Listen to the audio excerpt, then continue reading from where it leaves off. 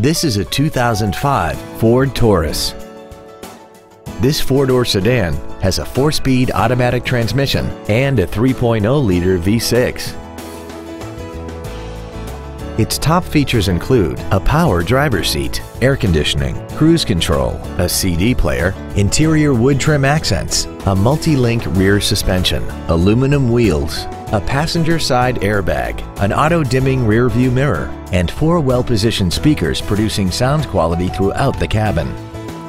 With an EPA estimated rating of 27 miles per gallon on the highway, its fuel efficiency will save you time and money. Call now to find out how you can own this breathtaking automobile.